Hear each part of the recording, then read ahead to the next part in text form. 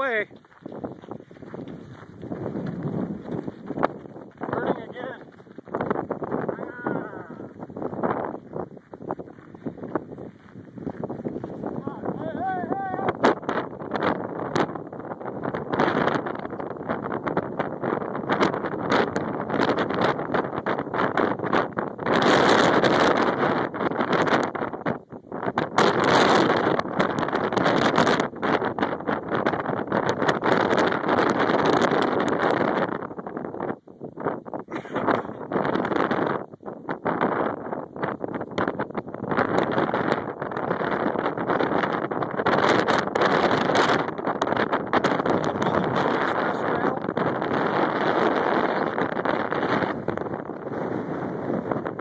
and his friend showed up to support